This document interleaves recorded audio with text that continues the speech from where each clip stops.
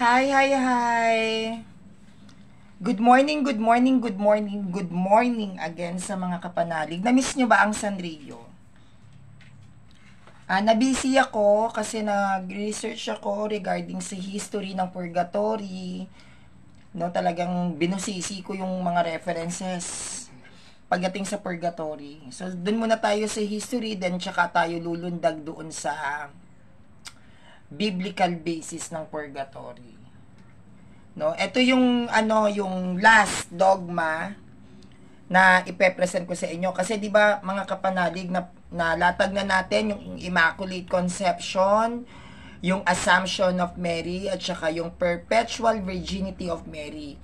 Ito yung panghuli na, na dogma ni Maria na tinatawag nating Ark of the Covenant. So, meaning to say, na i-present natin yung four dogmas of Mary. Yan po ay mahalaga sa ating mga Katoliko na malaman natin yung mga dogma na to no at pag sinabing dogma hindi po siya pwedeng uh, magkamali.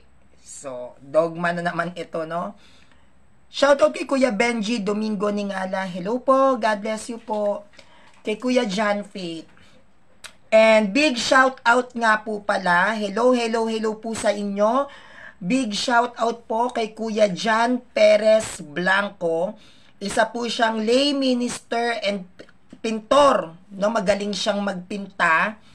At isa siyang lay minister ng St. Clement Angono Rizal. At sa mga tropang tulok. Shout out sa tropang tulok dyan ng NCBA. Once again, shout out po kay Kuya John Perez Blanco ng Angono, Rizal. Isa po siyang lay minister ng St. Clement Angono, Rizal. At shout out po, big shout out sa mga tropang tulok. Hi po mga tropang tulok, mga katulok ko dyan. Hello po ng NCBA. Pati po kay Kuya Emmanuel La Chica Lumibaw ng Antipolo Rizal. Shout out po. Shout out, shout out po sa inyo. So, ang paksa natin ngayon is the Ark of the Covenant. Ark of the Covenant. Ano ba tong Ark of the Covenant? Ibig sabihin ay uh, sisidlan ng Diyos, kaba ng tipan. Yan, Ark of the Covenant. Yan ang ating Ah, hi, hello po Kuya Benji Domingo Ningala. Ah, lay minister ka din po. Wow. Shoutout po sa mga lay minister dito na nag na nanonood po sa live ko. Shoutout sa inyo.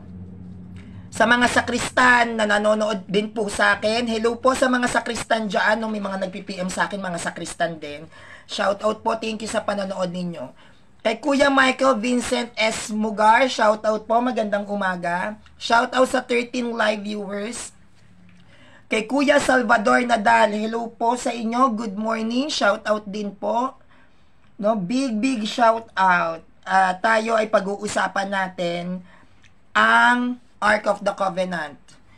No, kasi gusto ko syempre uh, kay Mama Mary at pinangako ko po to sa inyo no, nakapaglatag na tayo ng Assumption of Mary, nakapaglatag tayo ng perpetual virginity of Mary, nakapaglatag tayo ng Immaculate Conception, nakapaglatag na rin tayo ng Mother of God. So ngayon, yung panghuli natin patungkol kay Mama Mary ay yung tinatawag na Ark of the Covenant.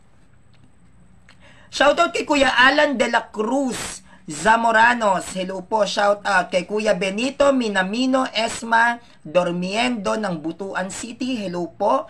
Kay Kuya Al at Chacoso, hello po sa inyo. Ingat po kayo sa work. Kay Kuya Alexander Divina Gracia, hello po sa 19 live viewers. At dito sa Ark of the Covenant na ito, ah, pag-uusapan din natin dito, isasama na natin, bakit ba galit na galit si Satanas kay Maria? Ano ba dahilan ni Satanas? Bakit galit na galit siya kay Maria? So pag-uusapan din natin 'yan, no? Para full package na dapat itong ano, itong ilalatag ko sa inyo bakit galit si Satanas kay Maria ay nasa Mother of God. Kaya lang sa sobrang haba kasi ng presentations natin sa Mother of God, hindi ko na siya naisama dahil kakapusin tayo sa data. Kaya dito ko na lang siya isiniksek sa Ark of the Covenant para malaman din natin yung idea Bakit nga ba galit na galit si Satanas kay Virgin Mary? Hello po kay Kuya Puto Balanghoy ng Tagbiliran. Shout out po sa inyo. Sabi ni Kuya Alan de la Cruz Zamoranos, totoo po ba na Angel si Felix Manalo? hindi ko alam kasi hindi ko pa naman po uh, hindi, pag nakita ko po yung pakpak niya sabi kwento ko po sa inyo no pag na, nakita na natin ang kanyang kapakpakan baka sakali Kay Kuya Aldrin Pepito Taytay, shout out po sa inyo sa 25 live viewers. No, shout out po kay Ate Eme Rochelle Gibone Granaderos. Anyong anyong din po Ate Eme, God bless po. At maayong ano? Maayong adlaw sa inyong tanan. Maayong adlaw sa inyong tanan. No, mga mga ano yun, ano yun yung kapat, mga igsuon. Maayong adlaw sa inyong tanan mga igsuon. Actually medyo pinapakinggan ko yung mga Bisaya-Bisaya kasi gusto ko din matutu matutong magbisaya para kapag may nagla-live ng Bisaya, ah, naiintindihan ko sila kasi may mga Bisaya po na nahihirapan maka intindi ng Tagalog. Kaya sabi sa akin, Sanrio, alin mo naman magbisaya para naiintindihan namin yung turo mo. Kaya pa kunti-kunti, kahit hindi nahihirapan ako, yon nag, nakikinig ako ng mga Bisayang salita sa mga nagla-live. Kay, hi po Kuya Axel Roque Bautista. Good morning. Maayong adlaw sa inyong tanan mga igsuon. Ayan pa lang po yung natutunan ko na narinig ko po yan kay Father Darwin Gitgano. Kaya tinanong ko, sabi ko, ano yung adlaw? Ah, yung araw. Araw pala ibig sabihin. Kasi hindi po talaga ako marunong magbisaya. At gusto ko siyang matutunan para na rin sa mga kapanalig natin na hindi masyadong marunong magtagalog para sa kanila. Sana nga po matutunan ko lalo na uh, tayo ay pupunta sa mga lugar na kung saan maraming Bisaya para makapag-usap ako sa kanila kung paano magsalita. Maayong ano yan? Maayong adlaw. Maay maayong adlaw sa inyong tanan, mga igsuon. Nakakailang daw marunong. Hi po, Kuya Puto, uh, Balanghoy, kay Kuya Michael Vincent Esmugan, kay Ate Emer Shell Gibone Granaderos. Pasensya na kayo sa dialect ko, hindi po talaga ako marunong magbisaya, sinubukan ko lang. Trying hard, trying hard si Sanrio. Pero aaralin ko po yan, pakunti-kunti. Wala naman po, mag, di naman po, wala namang mahirap kung gusto nating matutunan, di ba? Basta pag-aaralan lang. So, susikapin ko na matutunan yung mga ganyang dialekto, no? Kay Kuya Christian Ray Garcia, Hello po, Kuya Christian Riha, turuan mo ko magbisaya. So once again, maayong adlaw sa inyong tanan mga igsuon. Ang cute lang niyang sabihin. Okay. Dito na po tayo sa Ark of the Covenant. Uh, shout out sa 28 live viewers. No? Ngayon, ang stand ng Catholic Church ay si Virgin Mary, siya ay ang kaba ng tipan. Yan ang dogma neto, yan ang turo dito. Pag sinabing Ark of the Covenant, may narinig kayo, si Maria yan. Itinuturo ng ating simbahan, pag sinabing sisidlan ng Diyos, kaba ng tipan, or the Ark of the Covenant, yan ay si Virgin Mary. No? Siya daw ang Ark of the Covenant, kaba ng tipan, sisidlan ng Diyos sa bagong tipan o sa New Testament. Ayan po ang katuruan niyan Okay. At napaka palad nating lahat. No? Napakapalad nating lahat dahil itinuturo ng simbahan, itinuturo ng Catholic Church na si, na, na si Virgin Mary, siya yung kaba ng tipan. Ang swerte-swerte natin, 'di ba? Kumbaga, ang ating mahal na ina ang siyang kaba ng tipan mismo. 'Di ba? Meron ba silang kaba ng tipan ng mga ano? INC? Wala. May kabanantipan ng MCGI? Wala. Bakit? Wala silang Blessed Virgin Mary, pero tayo meron. 'Di ba? Meron ba silang mga kabanantipan? Wala. Sino lang ang meron? Catholic Church. Bakit? Sapagkat ang Catholic Church ay ma- ay Marian. 'Di ba mga Marian tayo, we love Mama Mary so much. Lalo na ako, I love I love Mama Mary so much. Pero bago tayo magpatuloy dito sa kabanantipan na, na to sa Ark of the Covenant, lagi po nating tatandaan yung sinabi ni San Agustin. Ano po ba yung sinabi ni San Agustin dito? Sabi ni San Agustin, isa ito sa mga sinaunang Kristiyano natin, na ang katuparan ng lumang tipan ay makikita at mababasa sa bagong tipan. No, lahat ng mga propesiya, lahat ng mga hula na nasa Old Testament, ito ay mababasa sa New Testament. Kaya nga po nagtataka ako eh, paano nag paano nasa hula si Felix Manalo eh wala naman siya sa New Testament. 'Di ba? Paano masasabi na si Felix Manalo, siya yung nasa hula, siya yung nasa propesiya? Eh wala naman siya sa New Testament. Samantalang sabi ni San Agustin, isa itong sinaunang Kristiyano, ang sabi niya, lahat ng hula, lahat ng propesiya na mababasa natin sa Old Testament ay makikita sa New Testament. Parang wala naman yata akong nakita doon na taong naging anghel. No, taong anghel, parang wala. No? Okay. Sabi ni Kuya Rubel Potensiano, may tanong ako tungkol kay Eva at Adan. Ano sa tingin mo yung ahas ba ang may kasalanan? Bakit kinain ni Eva ang bawal na prutas?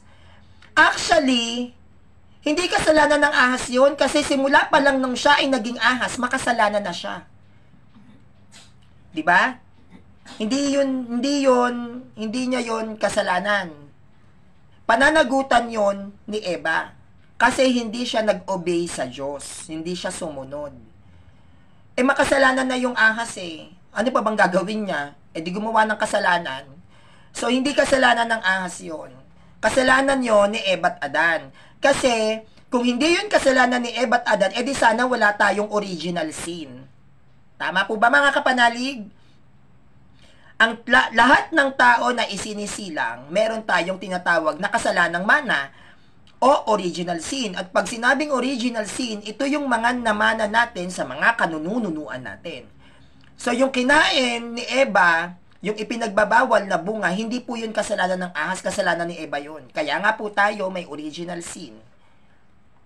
No, yan po yung sagot ko dyan sa inyo. Okay, tuloy na tayo. So, malinaw po ah, sabi ni San Agustin, ang lahat daw po ng hula na nasa Old Testament ay makikita sa New Testament. Kaya yung mga nagkiklaim dito na mga pastor, na mga founder-founder nyo, na sila yung nasa hula, pero pag hindi po makikita sa New Testament, peke po yan. Sila po yung nasa hula na walang katuparan. Dapat po ang hula ay may katuparan. At dapat ito ay makikita sa New Testament. Dahil ang Christianity ay nagsimula sa New Testament na which is yan ay kinompiled ng Catholic Church dahil tayo ay relihiyong Kristyanismo. The Catholic Church is a religion. No, malinaw po yan ha. So kapag ang founder nyo nasa hula at walang katuparan, kayo ay matatawag na peke.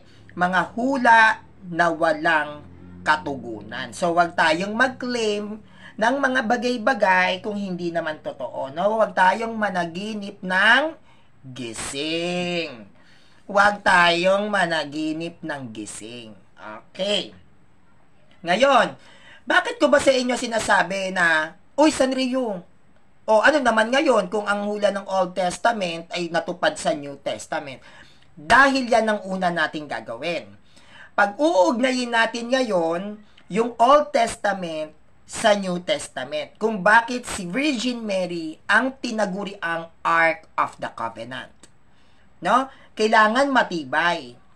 Matibay ang mga references natin na si Virgin Mary nga ang Ark, Ark of the Covenant dahil mismong siya ang nasa hula na nandoon sa Old Testament.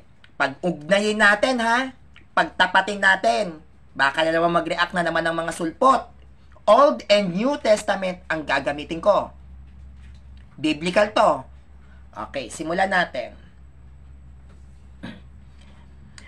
Ang pagiging Ark of the Covenant ni Virgin Mary, hindi ito ah, hindi ito nagkataon lang.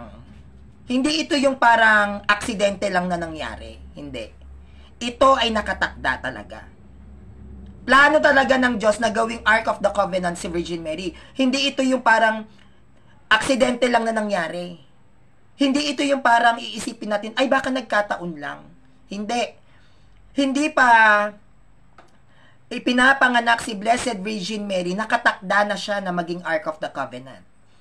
Hindi pa isinisilang si Virgin Mary, nakatakda na siya na maging kabanantipan. No? Hindi pa siguro, baka nga hindi pa tao, hindi pa tao si Santa Ana at si San Joaquin, yung kanyang mga magulang. Nakatakda na si Blessed Virgin Mary maging sisidlan ng Diyos. Plano to mismo ng Panginoon. No, plano niya mismo, nakatakda, itinakda at mangyayari sa ayaw at sa gusto natin. Si Maria ay nakatakda, itinakda at mangyayari na magiging ang babaeng ito, which is si Virgin Mary, ay magiging Ark of the Covenant. Whether you like it or not. Okay. Dito tayo sa kaban ng tipan o yung tinatawag nating Ark of the Covenant. No? Dito tayo, pag-usapan natin to ha.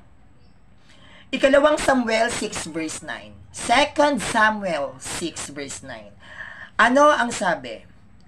David was afraid of the Lord that day and said, David was afraid of the Lord that day and said, How can the ark of the Lord ever come to me? Ito ay nasa Old Testament. The book of Samuel, makikita natin sa Old Testament. Hindi po sa New. Ha? Okay, ano ang sabi sa 2 Samuel 6 verse 9? Ano ang sabi sa 2 Samuel 6 verse 9? David was afraid of the Lord that day and said, How can the ark of the Lord ever come to me? Malinaw sa Old Testament. Itapat ngayon natin ito sa bagong tipan.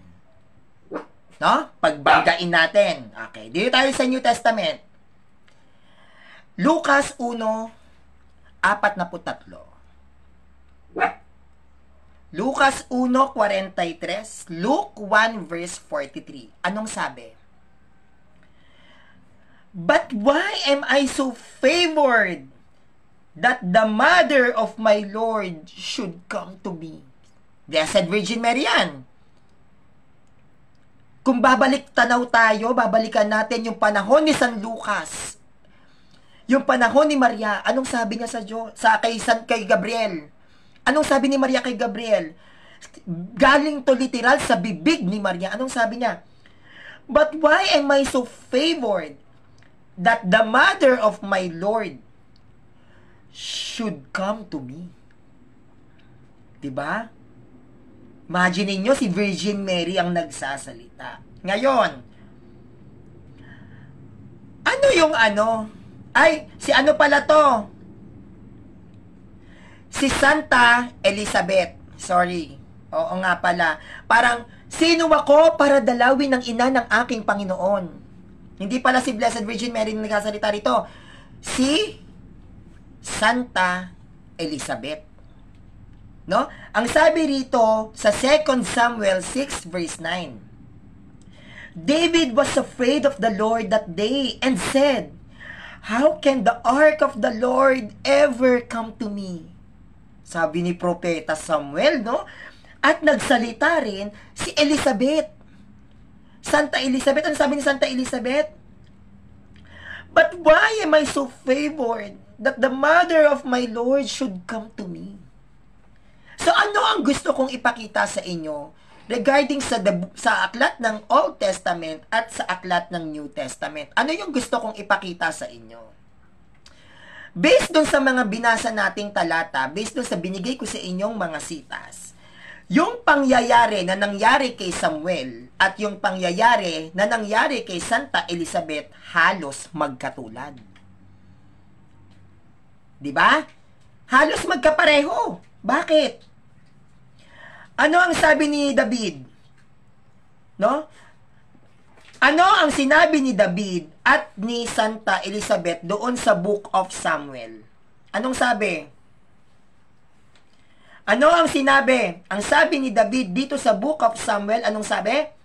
David was afraid of the Lord that day and said, How can the ark of the Lord ever come to me? 'Di ba?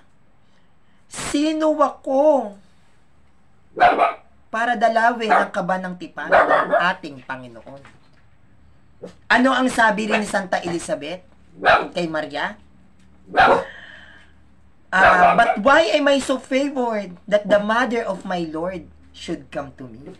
So, sabi ni David, nung, nung dalhin sa kanya yung Ark of the Covenant, sino ako? Para dalawin ang kaba ng tipan. At ganun din si Elizabeth, sino ako para dalawin ng ina ng aking Panginoon? Ko-connect natin yan ha, malinaw yon. Okay, kalawa.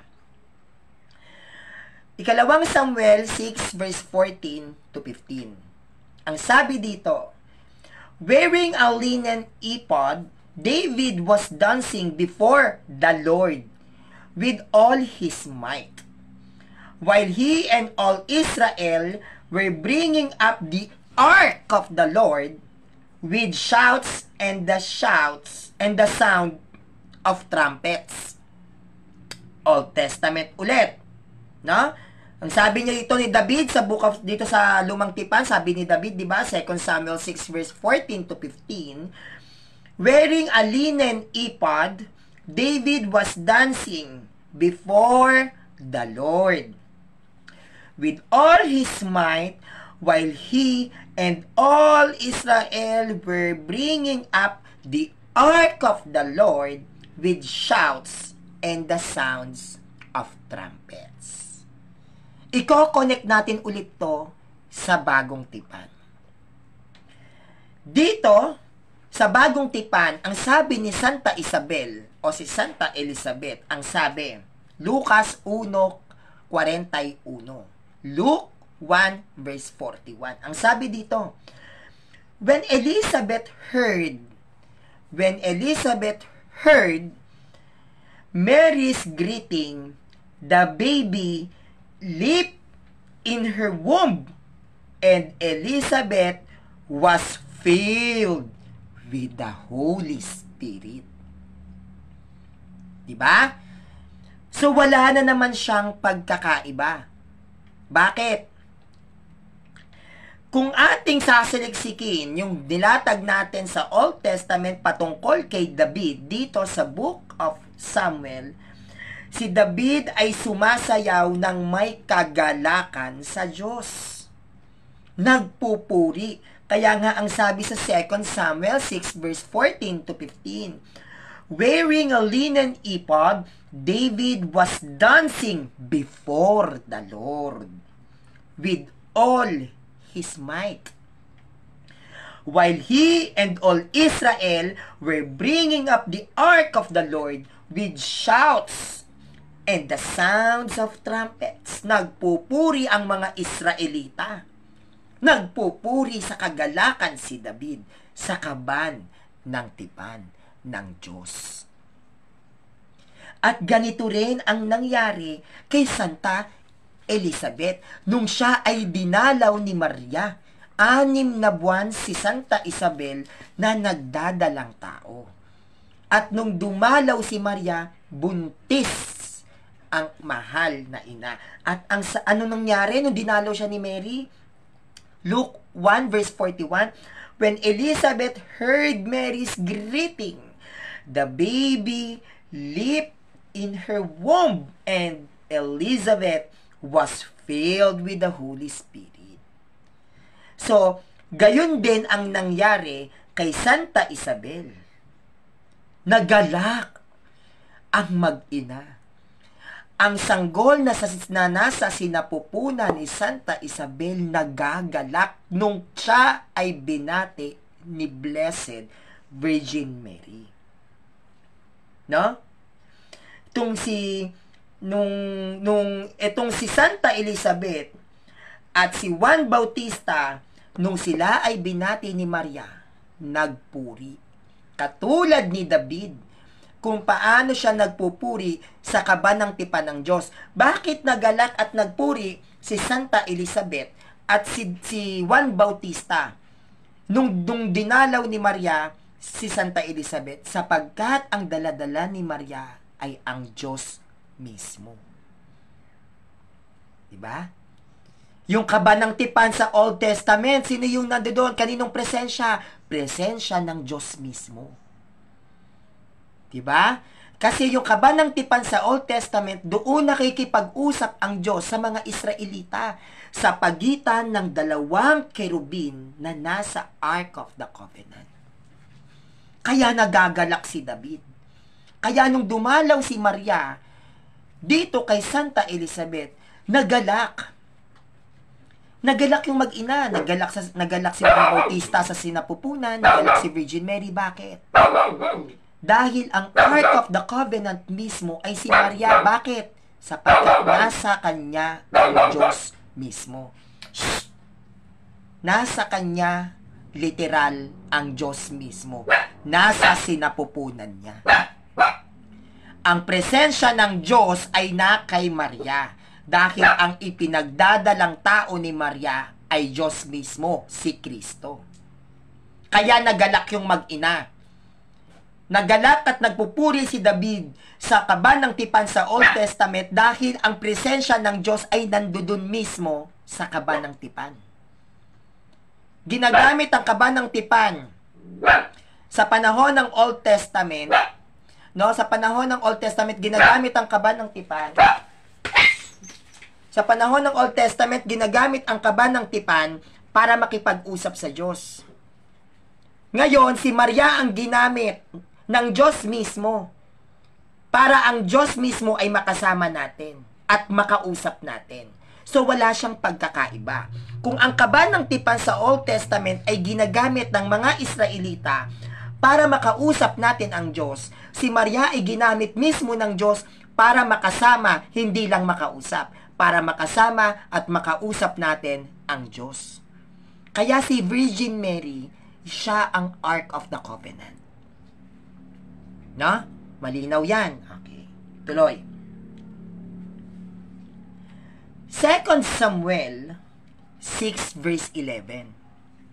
2 Samuel 6 verse 11. The ark of the Lord, the ark of the Lord remained in the house of Obed Edom, the Gittite, for three months. And the Lord blessed, blessed him and his entire household.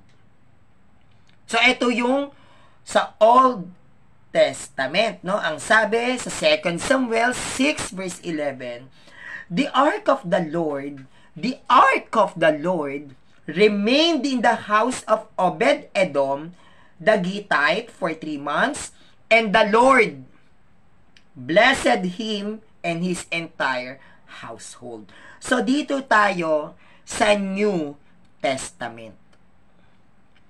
Dito tayo sa New Testament. Luke 1 verse 56. No? Lucas 1 uh, 5 sa East 56. Mary stayed with Elizabeth for about 3 months and then returned home. Mary stayed with Elizabeth for about 3 months and then returned home. So meaning to say, Nung nagdinalaw ni Maria si Santa Isabel, si Santa Elizabeth, tatlong buwan na nag-stay si Maria kasama si Santa Isabel. Now, now, dito sa sa Old Testament na binasa natin kanina, the 2 Samuel 6 verse 11 states, The Ark of the Lord, kabanang tipan, the ark of the Lord remained in the house na, na nanatili sa bahay. Nino ni Obed Edom the Gittite for three months, and the Lord blessed him and his entire home. Yung kaban ng tipan ay dumalaw sa bahay ni Obed Edom na isang Gittite sa loob ng tatlong buwan at ang buong kabahayan niya ay napuspos. Ganito rin kay Blessed Virgin Mary. Lucas 1, 5 sa is 1 verse 56, Luke 1 verse 56, Mary stayed with Elizabeth for about 3 months and then returned home. Tandaan natin si Maria ang siyang kaban ng tipan. Dumalaw ang kaban ng tipan sa Old Testament sa bahay ni Obed Edom ng tatlong buwan. Dinalaw ni Maria si Santa Isabel at nanatili sa bahay ni Santa Isabel ng tatlong buwan na which is nagdadalang tao. Nandun si Kristo. 'Di ba? Nako-connect natin Old Testament and New Testament. Bakit ako naglalatag? Bakit ka Sanrio? Ano ang connect ng Old Testament to New Testament para maging Ark of the Covenant si Virgin Mary. Ano ang dahilan? Manalilito ako, Sanrio. Ang gulo ng Mariology, nahihirapan akong intindihin. Bakit mo kinokonek ang Old Testament to New Testament para sabihin Ark of the Covenant si Blessed Virgin Mary? Okay. Kung aaralin nating maigi, yung nilatag ko ng, ng Book of Samuel, tapos tinapat natin sa Lucas, di ba? Ito bang pangyayaring ito ay nagkataon lang? Yung nilatag natin regarding sa the Ark of the Covenant ng Old Testament at pagiging Ark of the Covenant ni Blessed Virgin Mary sa New Testament, nagkataon lang ba to? Aksidente? Aksidente lang ba? Hindi ba to sinasadya? Yan ang unang-una gusto kong maintindihan nyo. Yung, yung, yung aklat ng Old Testament at yung sa New Testament about kay Virgin Mary sa pagdadalang tao niya kay Kristo at sa kabanang tipan na nasa Old Testament, hindi po yan nagkataon lang. Hindi po yan aksidente ang nangyari lang. No? Hindi po pwede nating sabihin na nagkataon lang kasi hindi ganyan ang kapangyarihan ng Diyos. Wala po ta, hindi po natin pwedeng sabihin, ay baka nagkataon lang, hindi. Ang Diyos pag nagplano, matutupad, magaganap, mangyayari. Hindi pe pwede na nagkataon lang at nangyari lang siya bigla. Hindi.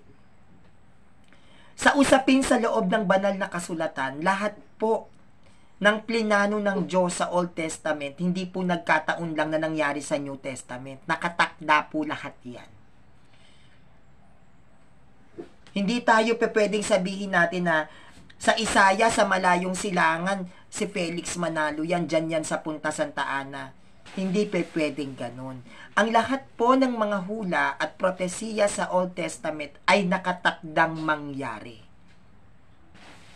Tatandaan po natin yan. Kaya hindi yan pwedeng kumatawan sa mga 19th century founders. Kahit 16th century pa yan, kahit si Martin Luther, hindi yan pe pwedeng mag-reflect sa kanila o mag-rely dahil lahat po ng hula sa Old Testament, nakatakda na po yan mangyari. Hindi pa po sila tao. No? Kaya tatandaan natin, yung lahat ng hula sa Old Testament ay hindi po nagkataon lang. Yan po ay nakatakda. Okay. Now, kaya malinaw na wala po at hindi po pwedeng sabihin natin na ito ay nagkataon lang. Ang proper term na dapat nating gamitin, plano to ng Diyos, nakatakda na yan. Mangyayari talaga yan. Hindi na yan kontrolado natin ng dating mga tao. Sure 100% lahat ng hula. Meron nang nakatakda dyan. Meron nang gaganap niyan. Meron nang tutupad niyan. Kaya hindi po yan pwedeng si Felix Manalo, sila Ellen G. White, si Eli Soriano, hindi. Dahil lahat po ng hula sa Old Testament may tao nang nakatakda dyan. At hindi po Pilipino. Okay. Kaya napakaswerte nating mga Katoliko dahil sa lalim ng pagsusuri at pag-aaral ng ating simbahan sa mga kasaysayan, patungkol sa ating pananampalataya, mas lalo nating naiintindihan at nagiging malinaw kung ano nga ba ang tunay na katuruan pagdating sa pananampalatayang Kristyanismo. Only the Catholic Church, no? Only the Catholic Church can explain the whole history about Christianity. Dahil tayo lamang po ang may traditions and we are 100% religion. Okay. Ngayon, bibigyan ko kayo ng mas matibay. Didiinan natin. Ha? Didiinan natin. Bibigyan ko kayo ng mas matibay na batayan. Mas malinaw, no? Na si Maria ang kaban ng tipan. Na si Maria ang tunay na Ark of the Covenant ng Old Testament. Kung may Ark of the Covenant ang Old Testament, dapat may Ark of the Covenant ang New Testament. Hindi po kasi pe pwede na ang Ark of the Covenant ay Old Testament lang meron. Kailangan meron din yan sa New Testament. Dahil ang presensya ng Diyos nandiyan dyan. No? Nandiyan dyan ang presensya ng Diyos. Sabi ni Rolinito, Patigdas, Briones, ano bang klasing utak to? Kung ako daw ba nakatakda din? Hindi naman ako propeta, paano ako magiging nakatakda? Gamitan naman natin ng utak. Ang tinutukoy kong nakatakda yung mga propeta, yung mga apostol, mga hinirang yan. Nasa plano yan ng Diyos. Hindi ko pwedeng ihilera ang sarili ko sa mga alagad ni Kristo. Hindi ko pwedeng ihilera ang sarili ko sa mga propeta. Propeta ba ako? Gumamit ka ng utak. Kapag ikaw ay nakatakda, propeta ka. Kapag ikaw nakatakda, ikaw ay 100% pinili mismo ni Kristo. Literal.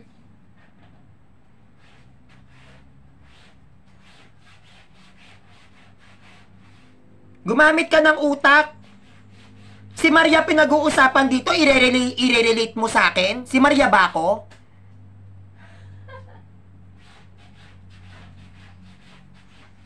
O, tinatanong ni Rolito Patigdas, Briones, kung ano daw ako. Isa akong kristyano. Isa akong kristyano na binigyan ng Diyos ng kalayaan na gawin ko kung ano ang gusto ko, tama man o mali. Hindi ako nakatakda. Ang kapalaran ko ay nasa mga kamay ko. Pag sinabing nakatakda ka, hinirang ka 100%. Hindi ka pa hindi ka pa nagiging tao, pinili ka na ng Diyos. 'Yon yung nakatakda. Tanga. Blessed Virgin Mary yung tinatapi ko. Ire-relate mo sa akin? Si Maria ba ako? propeta ng Old Testament nilalatag ko, itatanong mo ko kung nakatakda ko. Propeta ba ako ng Old Testament? Tanga?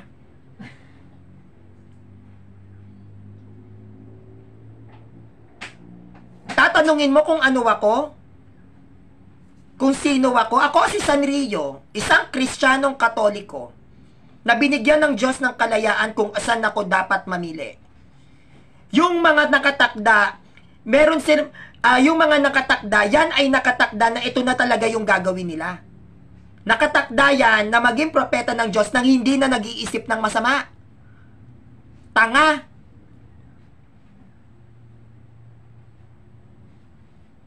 Lahat ng propeta ng Diyos na nakatakda, lahat ng mga apostolo alagad ni Kristo na nakatakda, sila yung mga tao na binigyan ng Diyos nang hindi na nag-iisip ng masama, katulad ni Maria. Mga hinirang yan.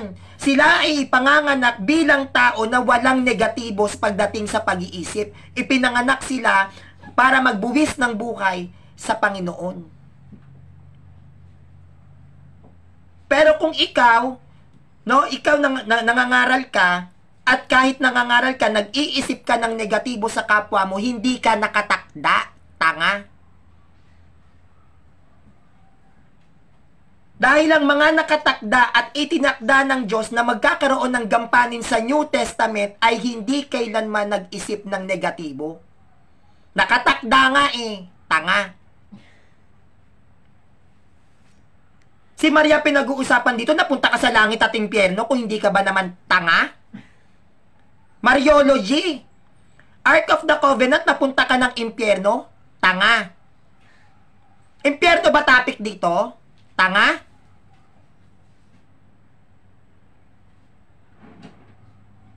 Tanga-tanga nito.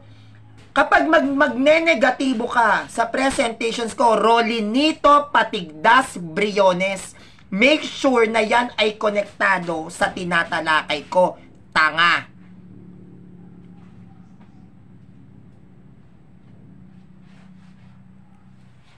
Tigay mo sa akin si Maria? Okay.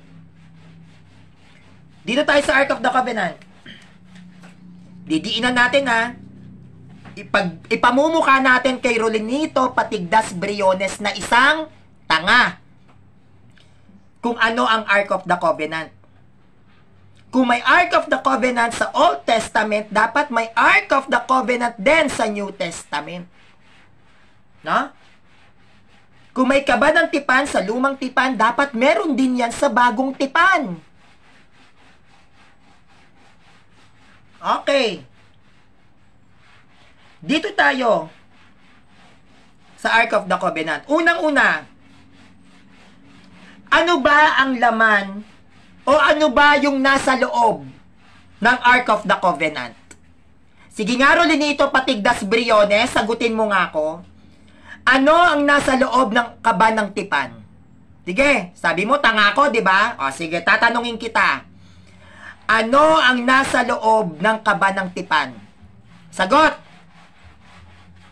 Rolinito Patigdas Briones, 49 live viewers, thousands ang nanonood ng live ko. No?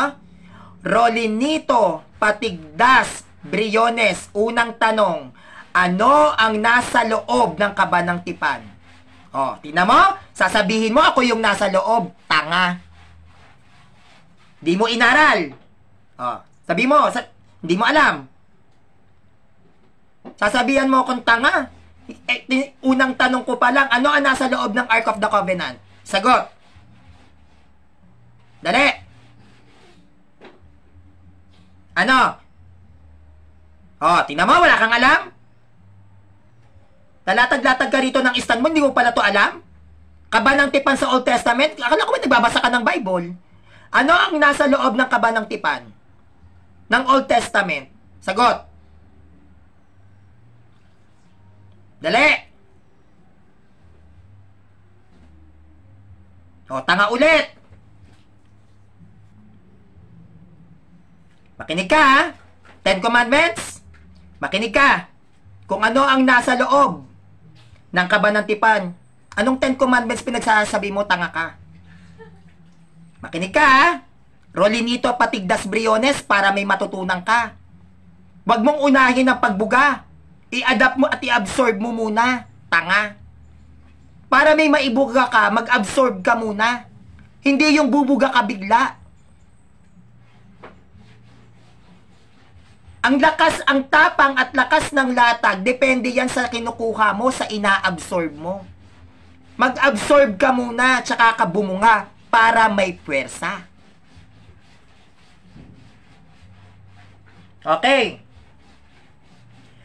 Hebreo 9, versikulo 4. Naroon ang gintong altar na sunugan ng insenso at ang kabanantipan na, na, na, na, na nababalutan ng ginto Nasa loob ng kaba ng tipan ang sisidlang ginto na may lamang mana, ang tungkod ni Aaron na nagkaroon ng usbong at ang mga tapyas na bato.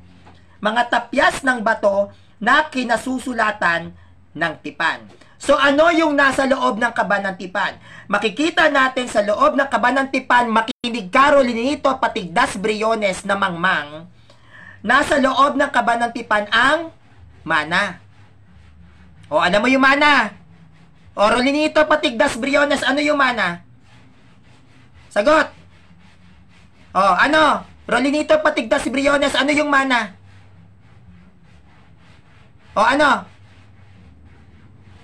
Di mo alam. Ano yung mana? Yung mana daw nasa loob ng kaban ng tipan. Ano tong mana na to? Sige, tatag.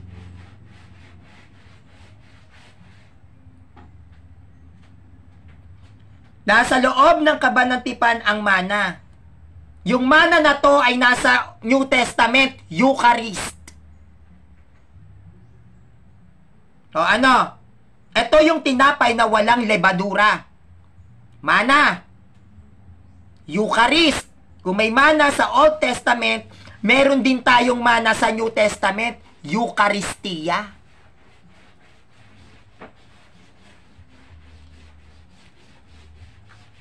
Tungkod ni Aaron.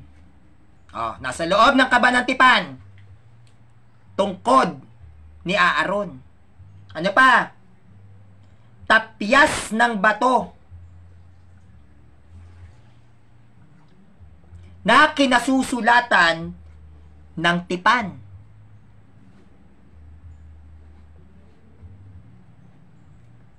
Tong mga bagay na to, ito ay nasa loob ng kaban ng Ark of the Covenant sa Old Testament.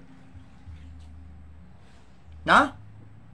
Yung Ark of the Covenant ng Old Testament ay naglalaman ng tungkod ni Aaron, tapyas na bato, at ang mana.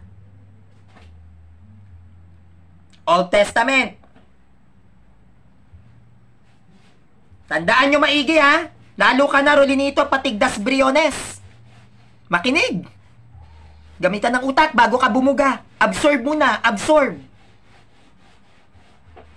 Ang isang taong matalino bago nagsasalita, nag-a-absorb muna. Observe, listen.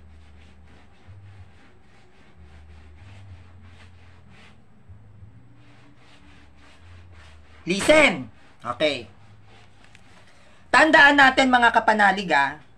Tandaan. Ang mana, ang mana ito ang tinapay na nalaglag mula sa langit nung panahon na ang mga Israelita ay nagugutom. Sa sila nagutom? Doon sa ilang. O bakit rulinin ito patigdas briones? Tapyas na bato lang ang laman ng kaban ng tipan? Tanga? Tinatanong kita kung ano ang laman ng kaban ng tipan, yun lang? Yan ang kaban ng tipan nyo? Isa lang ang laman? Eh, tatlo sa amin eh. Turo yan ang kinaaniban mong sulpot? Na ang laman ng kaban ng tipan, tapyas na bato lang?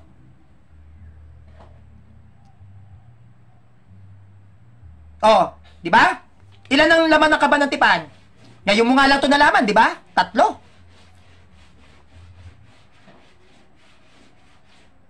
Aral ba yan? Matatawag mong aral yan? Rolinito patigdas briones? Yan ang aral ng sekta mo? Laman na ka ba ng tipan? Tipyak tapyas na bato lang?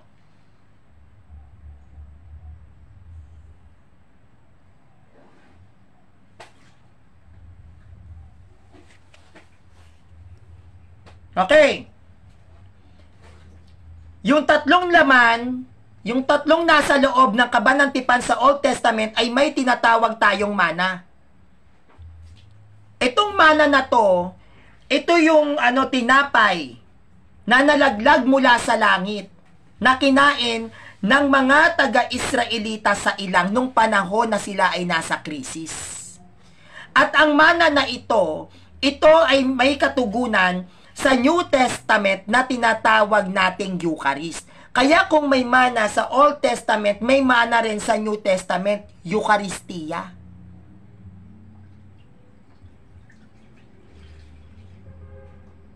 Dalawa. Tungkod ni Aaron. O sige. Rolinito patigdas briones sumagot ka. Ano ang sinisimbolo ng tungkod ni Aaron na nasa loob ng kaba ng tipan? Sagot. Sinagot ko na yung mana. Oh, dito tayo sa tungkod ni Aaron. Bakit kailangang magkaroon ng tungkod ni Aaron sa kaba ng tipan? Sige. Rolinito Patigdas Briones, kung talagang inaral mo yung, sinas yung pinag-uusapan dito ng Ark of the Covenant, bakit sa kaba ng tipan sa Old Testament nandun ang tungkod ni Aaron? Bakit pwede naman yung tungkod ni Moises? Oh. Bakit tungkod ni Aaron? Sige, Rolinito Patigdas Briones. Total, sabi mo naman sa akin, di ba? Tanga ko, di ako, wala akong alam. O ngayon, ikaw na may alam, sumagot ka. Bakit ang tungkod ni Moises ay nasa loob, ay tungkod ni Aaron nasa loob ng kabanantipan? Sagot. Bakit may tungkod ni Aaron sa loob ng kabanantipan, Rolinito Patigdas Briones? Bakit?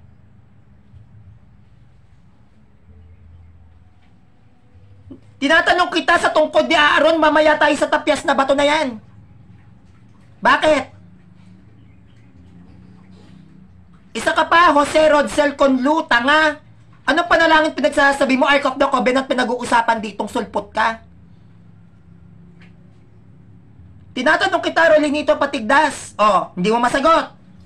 Kung bakit may tungkod ni Aaron sa loob ng kabanatipan. Oh, ano? Sino ngayon ang tanga sa ating dalawa? Rolinito Patigdas Briones, di ba ikaw? Laman ng kabanatipan, sasabihin mo, tapyas na bato lang? Tapos magko-concentrate ka dun lang sa tapyas sa bato. Eh, paano yung dalawa? O, paano yung dalawa? Hindi nakasali yon. Paano yung dalawa?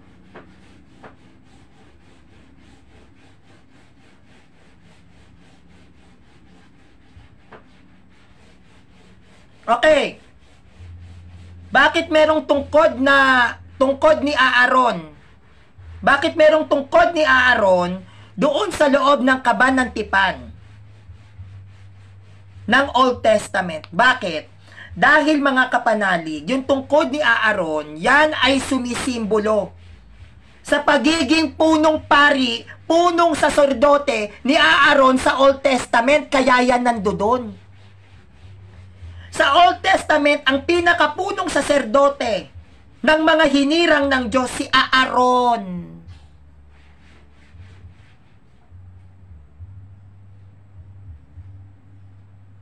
Oh, alam mo na ngayon kung bakit merong tungkod ni Aaron sa loob ng kabanantipan sa Old Testament sapagkat si Aaron ay punong saserdote ng lahat ng mga hinirang. Ganyan ang lata, ganyan ang aral. Hindi kulang.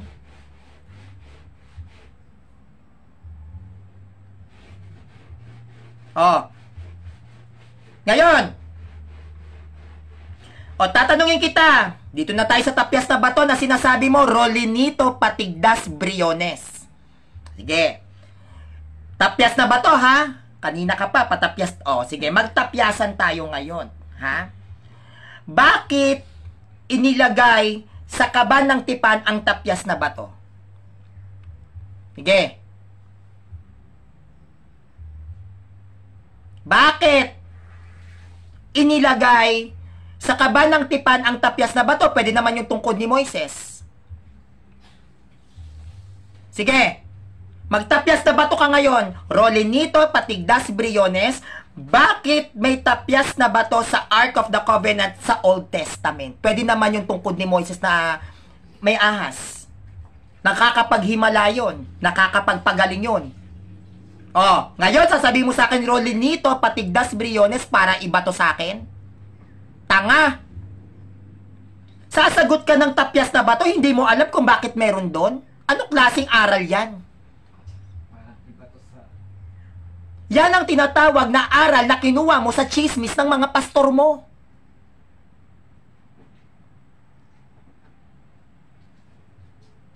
Ano naman ng Ark of the Covenant? Ang sinabi mo lang sa akin, tapyas na bato. Ngayon tinatanong kita, bakit may tapyas na bato? Sasabi mo, ibabato sa akin? So sinabi ng pastor mo, may tapyas na bato sa loob ng kabanatipan, yun na yun. Naniwala ka. Eh paano kung mali? Oh, edi hindi mo inaral. Ano tawag ngayon sa'yo? Rolinito patigdas briones. Tanga!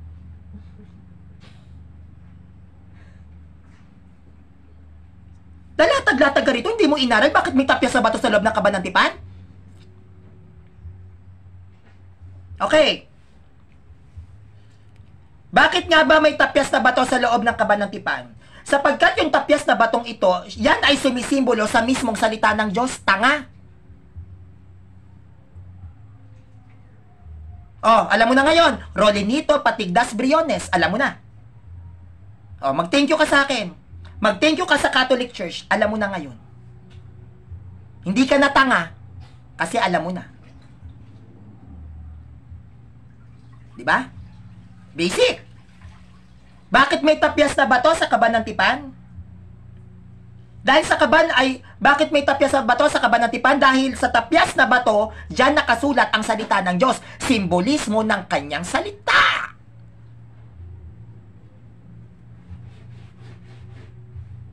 Oh, mag-thank you ka.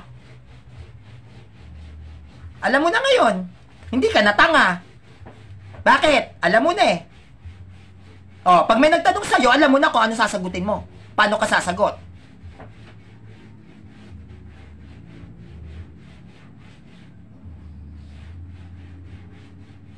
Ngayon,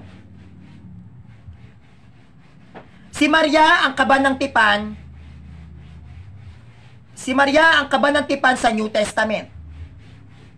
Kaya nga bagong tipan eh.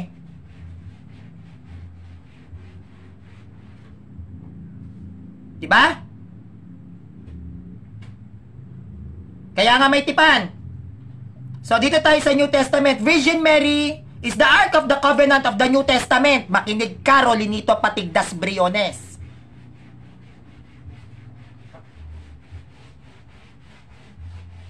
Okay. Unang-una, pag sinabing Virgin Mary, Blessed Virgin Mary is the Ark of the Covenant of the New Testament. Why? Tandaan nyo, ang ipinagbubuntis ni Maria ay si Kristo. Ang nasa sinapupunan ni Blessed Virgin Mary ay si Christ. Di ba? Okay. Unang-una, ano ba ang nasa laman? Ano ba ang nilalaman ng kaban ng tipan sa New Testament? Ano? Unang-una, si Kristo ang siyang tinapay na nagbibigay buhay. The Ark of the Covenant in the Old Testament may mana. No? Isa sa laman ng kaban ng tipan sa Old Testament may mana.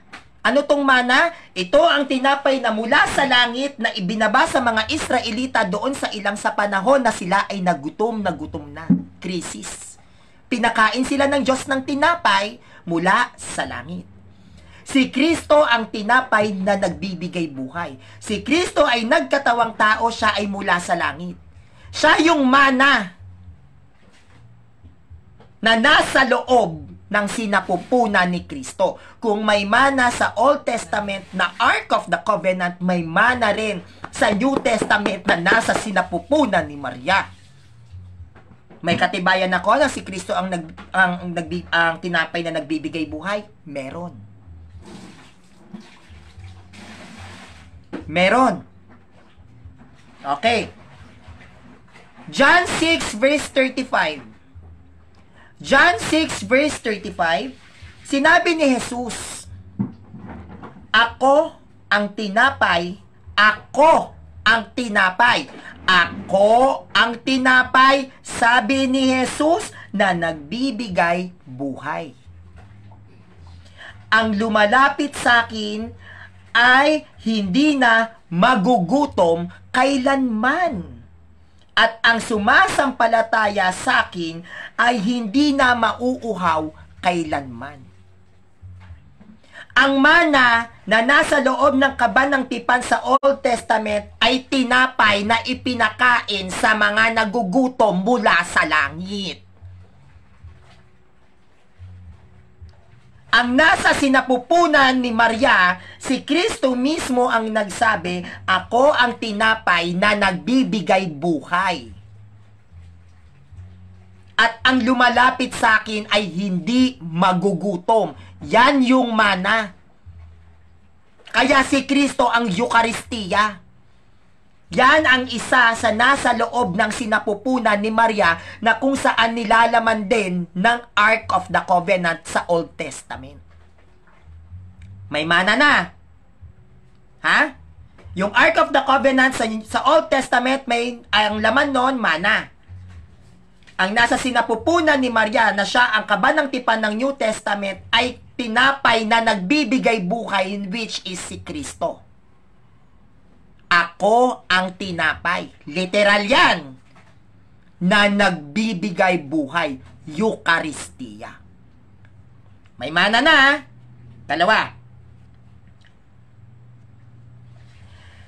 Ang nasa loob ng, ng Ark of the Covenant sa Old Testament ay ang tungkod ni Aaron. No?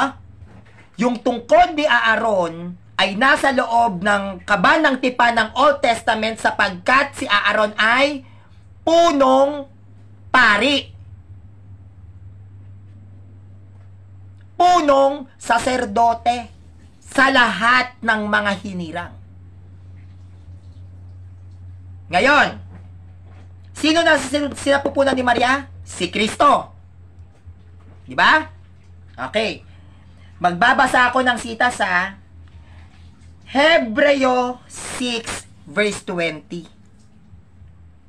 Ano tong Hebreo 6 verse 20? Si Jesus ay naunang pumasok doon alang-alang sa atin at naging pinakapunong pari magpakailanman ayon sa pagkapari ni Melchizedek. Si Kristo ang pinakapunong pari magpakailanman. Ang tungkod na nasa loob ng kaban ng tipan na mababasa sa Old Testament is yung tungkod ni Aaron, yan ay sumisimbolo sa pagiging pinakapunong pari ni Aaron. Ano ang nasa sinapupunan ni Maria? Si Kristo. Ano si Kristo? Pinakapunong pari. Magpakailanman. Dalawa na.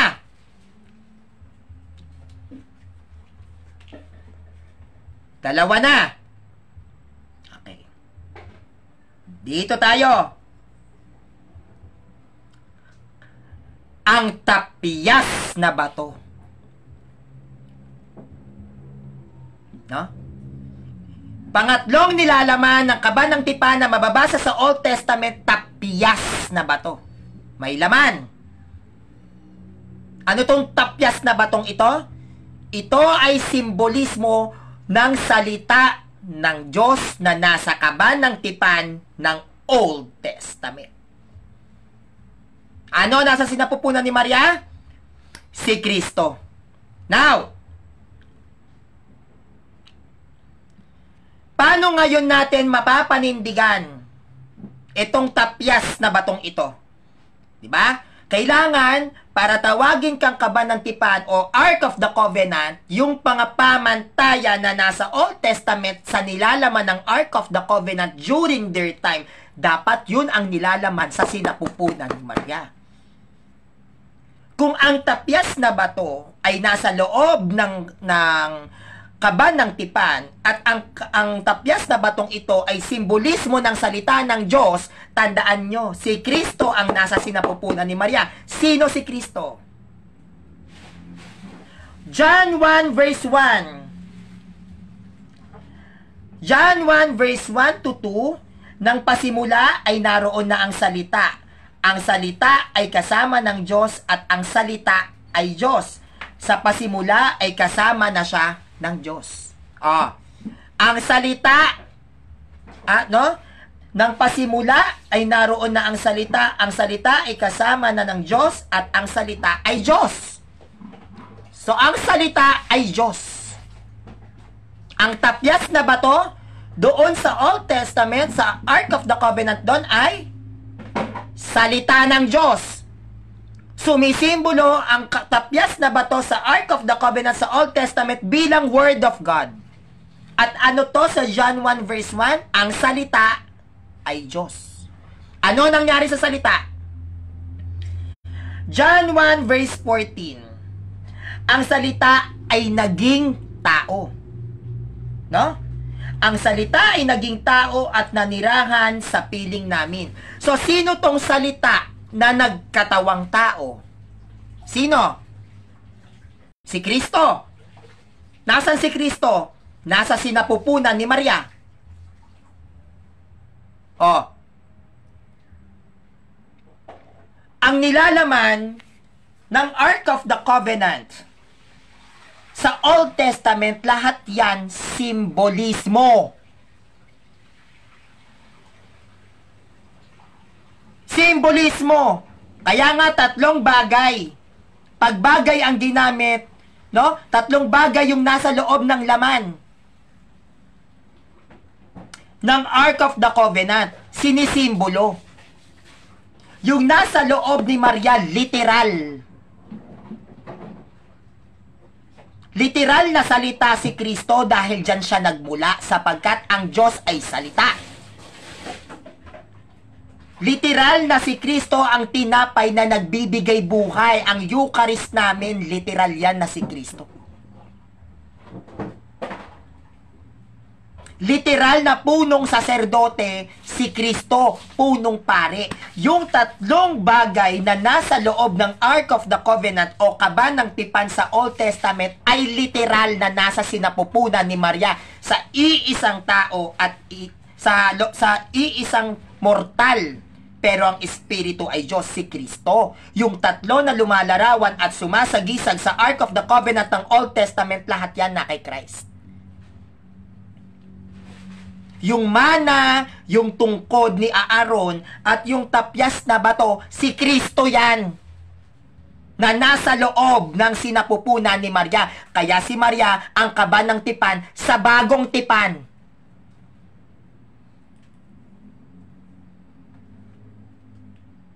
Si Kristo ang tinapay na nagbibigay buhay, mana sa Old Testament na nasa loob ng kaban ng tipan. Si Kristo ang pinakapunong pari at punong saserdote. Na which is yon ang tungkod ni Aaron na nasa loob ng kaban ng tipan ng lumang tipan. Si Kristo ang salita na nagkatawang tao na which is sa Old Testament yung kaban ng tipan doon na nasa loob ay yung tapyas na bato. Sumisimbolo sa salita ng Diyos.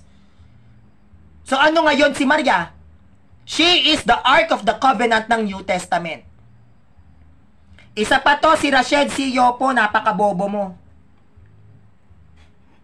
Hindi mo alam na punong saserdote tong si ano, si Kristo? Punong pare? Bobo lang? Latag ko pa si Tas? Okay. Hebreo 6 verse 20. Si Jesus ay naunang pumasok doon alang-alang sa atin at naging pinakapunong pari magpakailanman. Basahin mo. Hebreo 6 verse 20.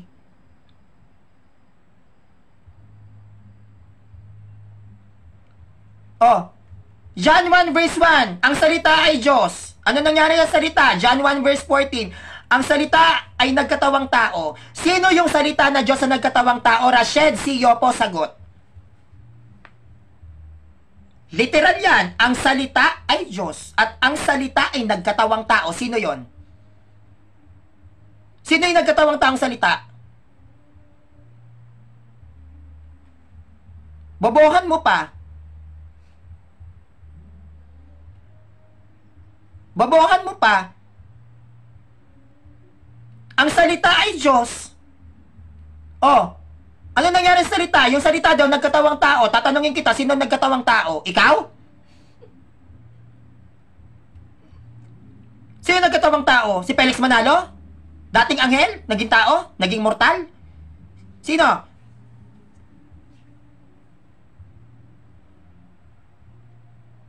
Sagot! Ang salita ay Diyos. At ang salita ay nagkatawang tao. Sino ngayon tong salita na Diyos na nagkatawang tao? Ikaw?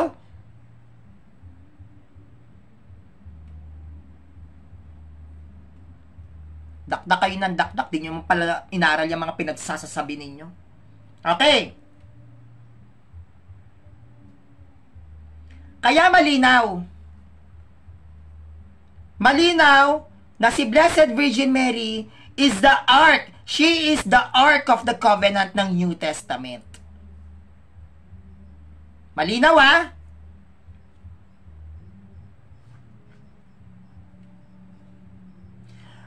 Kung ang Ark of the Covenant o kung ang kaba ng tipan sa Old Testament ay nagtataglay o naglalaman ng mana, no? Kung ang Ark of the Covenant sa Old Testament, sa loob ng Ark of the Covenant nila ay may mana, at ang kumain nito, no, at ang tumanggap o yung kumain ng mana na to ay humantong pa rin sa kamatayan. Lahat naman po na kumain ng mana doon, humantong pa rin sa kamatayan eh. Sa Old Testament, yung Ark of the Covenant na may mana, lahat na kumain doon, humantong pa rin sila sa kamatayan. Ano pagkakaiba? Si Blessed Virgin Mary, na bago o siyang bagong Ark of the Covenant o siya yung tinaguri ang the new Ark of the Covenant ng New Testament, siya ay nagtataglay ng mana, no? Ng mana na nagbibigay buhay. Mana ng buhay. Si Kristo ang tinapay ng buhay. At ang sino mang kumakain ng tinapay na nagbibigay buhay ay kailanman hindi maka, ma, magkakaroon ng kamatayan. Sa Old Testament, yung mana na nasa loob ng kaba ng tipan sa panahon nila Moises, lahat ng kumain ng mana na yon namatay. Humantong sila sa kamatayan. But, sa New Testament na nasa loob ng sinapupunan ni Maria, yung mana na yon, which is ang tinapay, yun pa nga ay nagbibigay buhay. Hindi ka hahantong sa kamatayan kung ikaw ay tatanggap ng tinapay na tinapay ng buhay, which is si Kristo, sa pamamagitan ng ano? Eucharistia.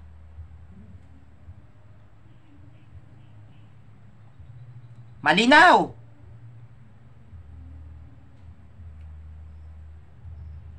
Ngayon, kalawa.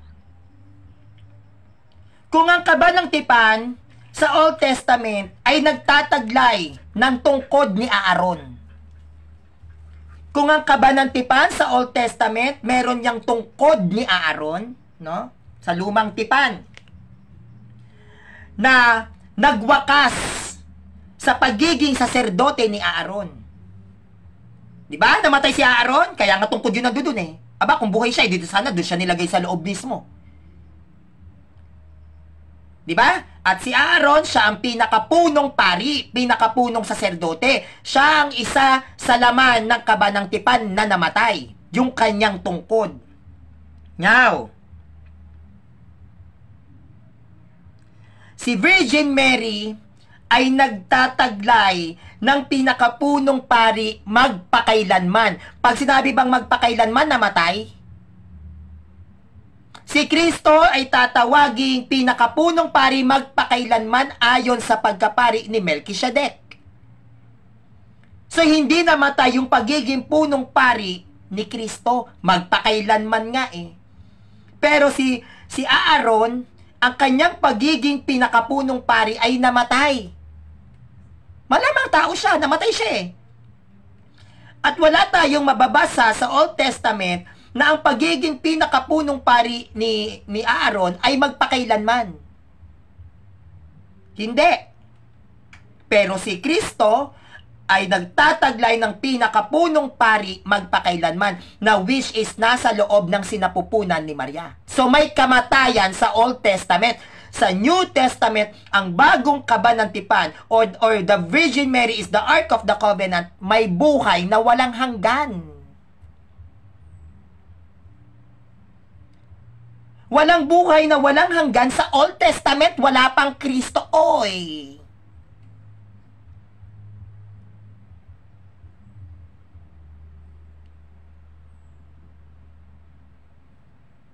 Ano? Okay. Sa Old Testament, yung tinatawag na tapyas ng bato. 'Di ba? Nasa loob ng kaban ng tipan yung tapyas na bato. Yan ang mga laman yan. Ngayon,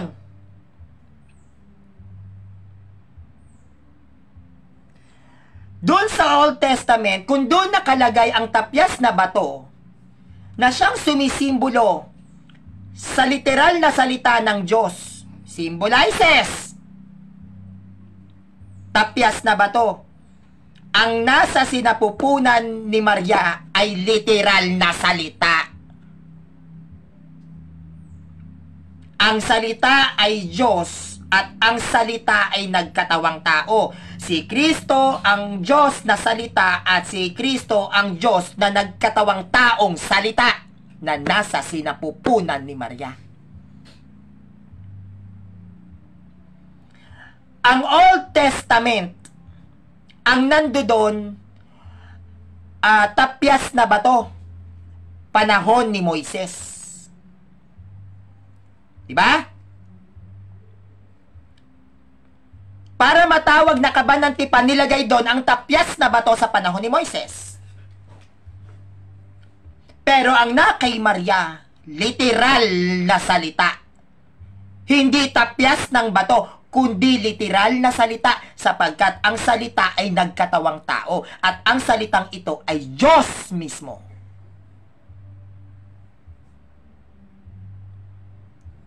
So yung nasa loob ng sinapupunan ni Maria, yan yung mga bagay na nasa Old Testament na Ark of the Covenant. That's why Blessed Virgin Mary is the Ark of the Covenant.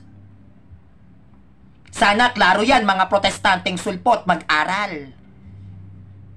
Bago tayo bumuga, mag-absorb. Absorb ka muna para maging magkaroon ng pwersa ang latag mo, magkaroon ng pwersa ang ibubuga mo, mag-ipon ka, mag-absorb ka muna ng aral.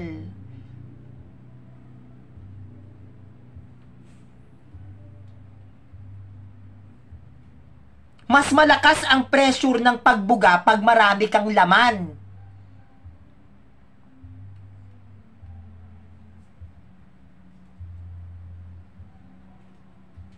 Itong mga sulpot na to, talak ng talak, wala naman palang alam.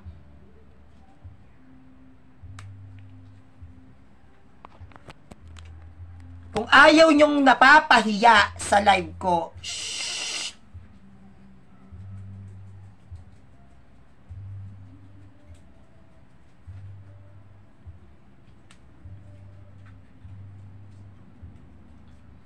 Kaya, no?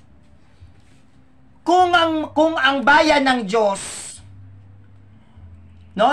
Kasi sa Old Testament ang bayan ng Diyos diyan Israel eh. No? Ah wala pa sa panahon nila Moises wala pa yang religion.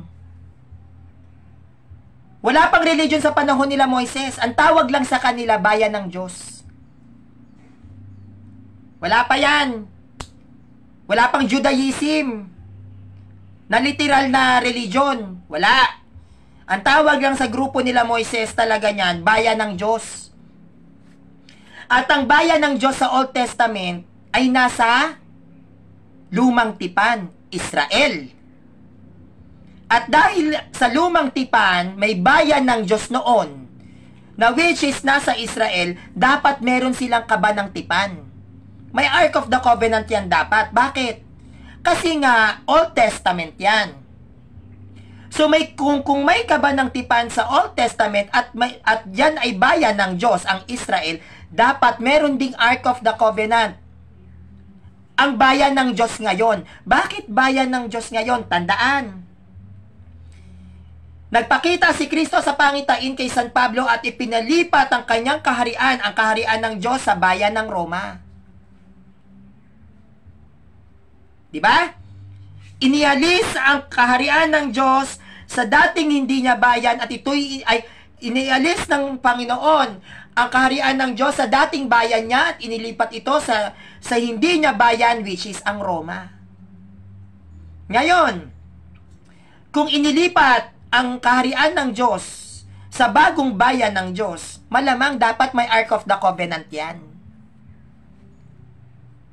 Kung may Ark of the Covenant sa Old Testament, may Ark of the Covenant din dapat sa New Testament. And that is Blessed Virgin Mary. Di po ba? Ikaw, Pablo, kung ano ang ginawa mo sa bayan ng Jerusalem, gagawin mo ito sa bayan ng Roma. At itong bayan ng Roma na ito, no, nagpapasalamat ako sa mga taga-Roma sapagkat ang inyong pananampalataya ay balitang-balita sa buong daigdig. Kung inutusan ni Kristo si San Pablo na ilipat ang kaharian ng Diyos sa bayang nagkakabunga, which is ito ang Roma, nararapat lamang magkaroon din ng sariling Ark of the Covenant doon sa bagong bayan ng Diyos na pinaglipatan, which is ang Rome. And the Ark of the Covenant ng mga Kristiyano kung saan inilipat sa bayan ng Roma, that is Blessed Virgin Mary. Virgin Mary is the Ark of the Covenant.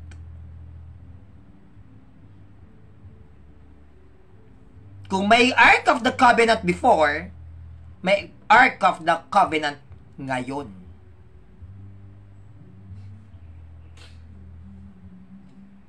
Now, to all the Protestants here, lalo na yung mga pulpol sumagot dito sa comment section, sino ang Ark of the Covenant ninyo?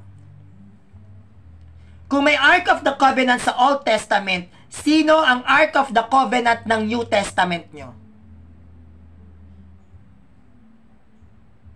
Ano? Sagot. Tandaan. Sa lumang tipan ay may kaba ng tipan. At iba ang lumang tipan sa bagong tipan. Kung merong Ark of the Covenant, kung merong uh, merong ano uh, tawag nito, kung merong tipan, kaba ng tipan sa lumang tipan, sino ang kaba ng tipan ninyong mga sulpot kayo sa New Testament? Kung may old Ark of the Covenant, who is your new Ark of the Covenant? We Catholic, our Ark of the Covenant is Blessed Virgin Mary. The question is, sa lahat ng protestante dito, sino ang Ark of the Covenant ninyo sa New Testament? Sagot. Kung wala kayong Ark of the Covenant sa New Testament, peke yung kinaaaniban mo. Ang kaba ng tipan sa lumang tipan ay mayroon yang katuparan sa New Testament. Hindi pwedeng manatili lang yan sa Old Testament. Dapat magpapatuloy yan hanggang New Testament.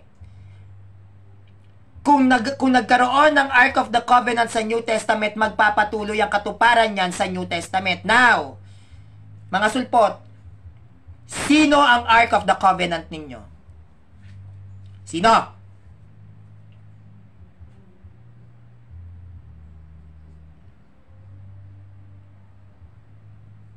Daldal kayo ng daldal kanina, bigla kayong nawala lahat nung nagtalak na si Sanrio.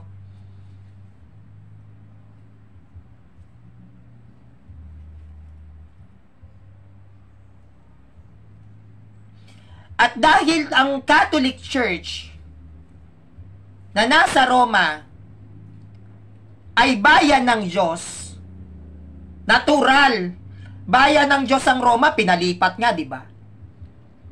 Ang kaharian ng Diyos pinalipat sa Roma, di ba? Kay San Pablo. Dahil tayo ay may bayan ng Diyos na nasa Roma, malamang meron tayong Ark of the Covenant. Dahil ang bayan ng Diyos may Ark of the Covenant yan, hindi pwedeng wala. Hindi pa pwedeng wala. Pag ang Diyos ay nagpalipat ng isang kaharian, imposibleng wala yang kaba ng tipan. O Joseph Balataria, MCGI, sinong Ark of the Covenant nyo? Sagot. Sino ang Ark of the Covenant ng New Testament? Ang MCGI, Joseph Balataria. Sagot. Wag mong sabihin, nasa inyo ang bayan ng Diyos, tas wala kayong Ark of the Covenant. Sagot. Sagot!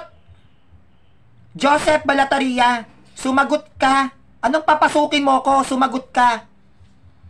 Ang bayan ng Diyos ay may kaba ng tipan. Old and new may kaba ng tipan yan. Sino ang kaba ng tipan ninyo ngayong sa bagong tipan? Who is the Ark of the Covenant ninyong mga MCGI sa New Testament? Hindi ka Kristiyano pag wala kang Ark of the Covenant. Ge. Hindi ka Kristiyano pag wala kayong Ark of the Covenant. Who is the Ark of the Covenant ng MCGI? Sagot.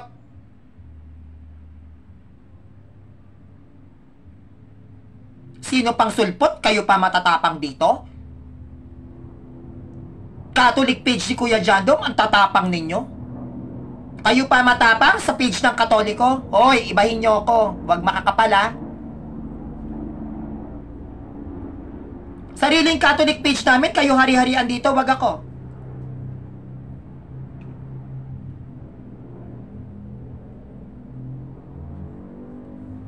Tinatanong ko kayo, sino ang Ark of the Covenant ninyo kung kayo ang bayan ng Diyos? Ang mga ang bayan ng Diyos may Ark of the Covenant yan. Sino? O napunta ka ngayon kay Kuya Jando, Joseph Balataria, hindi ka makasagot. Tanga. Si Kuya Jan, di ba pinag-uusapan dito? Tinatanong kita, Ark of the Covenant. Sino ang Ark of the Covenant ng MCGI Joseph Balataria? Si Kuya Jando? Tanga? Isasagot mo sa akin si Kuya Jando? Ayaw lumaban sa'yo? Tanga lang?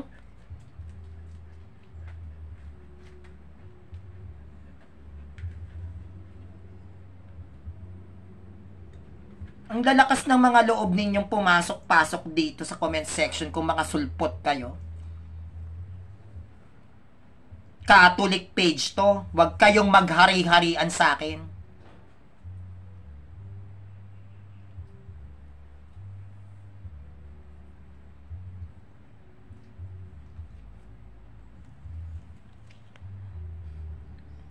Ngayon,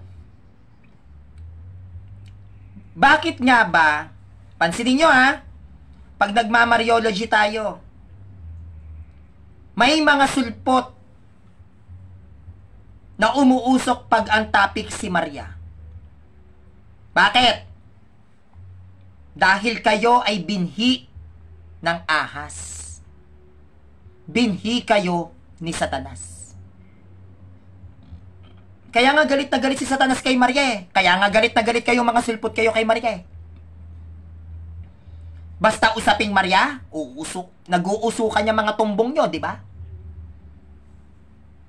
Huwag niyo sabing hindi.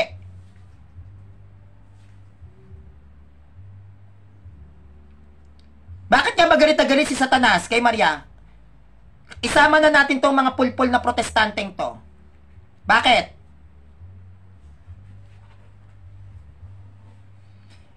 Kinamumuhian, galit na galit si Satanas kay Maria. Sobra. Sa katunayan, ginawa niya ang lahat sa kanyang makakaya upang pigilan ang ang debosyon sa kanya at magtanim ng puot sa kanyang loob ng dalawang libong taon nang nakakaraan. Napansin mo ba na ang mga dogma at debosyon ni, ni Virgin Mary ang pumukaw sa pinakamatinding reaksyon sa mga tumatangi sa simbahan? Kahit na ang mga ilang mabubuting katoliko ay napahiya sa debosyon sa ating ina at sa palagay nila ay hindi tayo dapat maging labi sa ating pagsamba sa kanya. Kung papansinin ninyo, ang lahat ng mga katolikong nagdedebosyon kay Blessed Virgin Mary, papansinin niyo, yan ang inuusig talaga ng mga protestante. Prosesyon. 'Di ba? Kung papansinin niyo pag prosesyon, sino ang unang-una nilang sinasabi ang Diyos-Diyosan? Si Maria. Dahil sa ribulto. 'Di ba? Pag nagro-rosary, pag nagro-rosary tayo, ano ang unang-unang inaatake ng mga sulpot? Paulit-ulit na dasal, walang kabuluhang dasal. Tandaan nyo ang pagro-rosaryo, Marian yan. Sentro ng rosaryo si Kristo, pero yan ay devotion kay Maria. Pag birthday ni Blessed Virgin Mary, Nag-uusukan lahat ng protestante. Sa pagdating sa pananampalatayang katoliko, ang debosyon na pinakamatindi na humahakot ng pang-uusig, pangiinsulto, panlalait, walang iba kundi yung mga debosyon kay Mama Mary. Kasi nga galit na galit diyan si Satanas. Bakit galit, bakit nag-uusukan tong mga protestanteng ito? Dahil hindi ganon kahalaga sa kanila si Maria. Kasi naman, hindi rin naman kasi ganon kahalaga kay Satanas si Maria, kaya nga galit siya eh. Magagalit ba si Satanas kay Maria kung mahalaga sa kanya? Di ba hindi? Kaya itong mga sulpot na ito, nagalit na galit kay Maria, lalo na pag nagtatapik tayo ng Mama Mary, nag-uusukan sila. Kasi nasa Bible na yan, binhi ni Maria at binhi ni Satanas laging mag-aaway. Sino yung binhi na yon? Si Kristo. At ang mga demonyo. Kaya nga yung mga sulpot ngayon, di ba? Nagtatag ng kanya-kanyang sekta, sila daw yung anghel, sila yung huling sugo, samantalang si Kristo dapat yon. Kasi lumalaban sila kay Kristo, kaya nga sila tinawag na Antichrist eh. Biruin mo si Kristo Diyos sa tawagin mo tao? Tao lang? Si Kristo huling sugo, tata sasabihin mo huling sugo ka? Tapos si Kristo tao lang, hindi rin hindi siya huling sugo? Si Kristo tao lang, tatawagin mo anghel ka?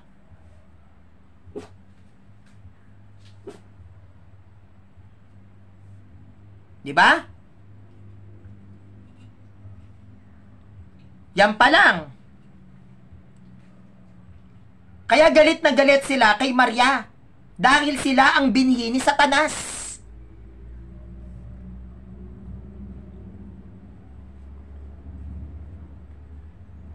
Ngayon, mga sulpot, makinig ha, dudurugin, dudurugin niya ang ulo mo, ang tanawin ay uh, ang Dudurugin niya ang ulo mo. Ang tanawin ay ang ardin ng Eden. Ang mga karakter ay ang Diyos. Ang aha si Adan at si Eva. Ang Diablo ay ngumiti sa tagumpay. Nilinlang niya si Eva at sa pamamagitan niya si Adan ay proud na proud. No? Si Adan at sa pamamagitan niya si Adan ay proud na proud siya sa ginawa niya. Halos maramdaman mo ang pagmamalaki ng demonyo sa pagkakawasak dahil matagumpay niyang nasira ang plano at gawa ng Diyos sa paglikha at kinaladkad ang mga tao na may espesyal na pag-ibig sa Diyos, sa kamatayan at sa paghihirap. Yung ginawa ni Satanas, nagalak nung nagkasala ang babae. Si ba walang nagkasala? Babae, si Eva. Proud na proud si Satanas. Nasira niya ang plano ng Diyos pagdating sa kanyang nilikha nagkasala. At ang kasalanan ay kaaway ng Diyos. Bakit? Dahil ang kasalanan si Satanas yan. Diba? Kaya yung mga umuusig kay Maria sa debosyon, sa pagtuturo, sa aral, lahat yan mag-uusukan. Bakit? Si Satanas sila. Ang ama nila ay Diablo.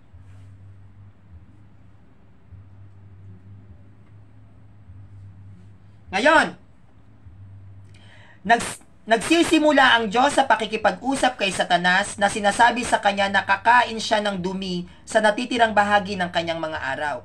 Pagkatapos ay ibubunyag niya ang isang bagay na nagpasindak sa na nagpasindak kay Satanas. Ang kanyang huling pagkatalo ay darating sa kamay ng isang babae. Dahil naging proud si Satanas, na dahil sa babae, kaya tayo, kaya pumasok ang kasalanan, pumasok ang kamatayan, nabigo ang Diyos sa nais niyang mangyari sa kanyang nilikha dahil sa ginawa ni Satanas. Kinausap ng Diyos si Lucifer. Anong sabi ng Diyos kay Satanas? Kung babae ang nagpasimula ng kasalanan kagagawan mo, babae ang dudurog sa ulo mo. At dahil dyan, nagkaroon ng takot si Satanas kay Maria.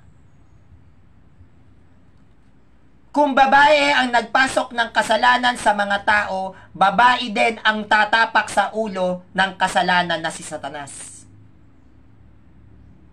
Kaya si Satanas, hindi siya papayag na magkaroon ang mga tao na nagdedebosyon kay Maria. Pipigilan niya yan. Dahil si Maria ang tatalo kay Satanas. Sa pamamagitan nino ni Kristo. Sino ang tatapak sa ulo ni Satanas? Si Kristo. Nagtagumpay si Kristo sa kamatayan sa krus at nung, pa, nung oras na yon na napagtagumpayan ni Kristo ang kamatayan sa krus dahil dito kay Satanas yung araw na yon nagapi ni Kristo si Satanas natapakan na ang kanyang ulo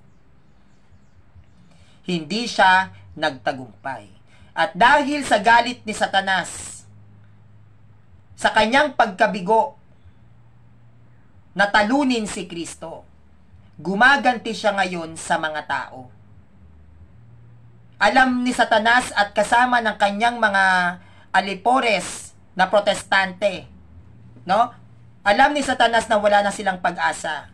Kasama sila sa huhukuman.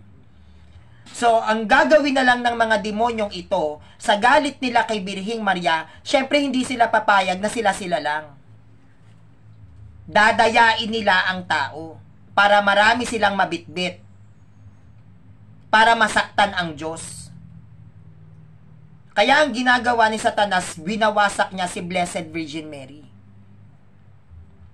Dahil sa lahat ng nasa relihiyong Kristyanismo, only the Catholic Church ang may mataas na pagpaparangal kay Maria. Wala nang iba. Sinong mga protestante ang may, may ang may Mariology? Sige. Sino sa mga sulpot ang may Mariology? Wala. Catholic Church lang. Bakit? Sapagkat ang Catholic Church, na which is yan ang bayan ng Diyos, meron kaming Ark of the Covenant. Ang bayan ng Diyos may kaba ng tipan. Sa panahon ng Ama, may kaba ng tipan, kaya sa panahon ni Kristo, dapat may kaba ng tipan kayo. Hindi pwedeng wala.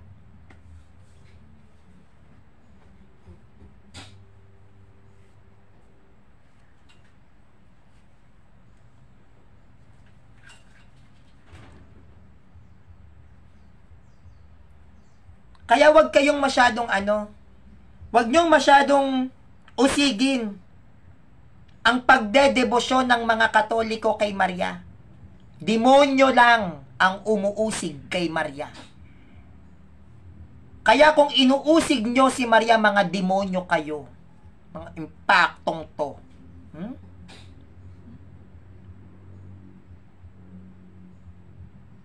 Mahalaga ang naging gampanin ni Maria hindi yan minamaliit.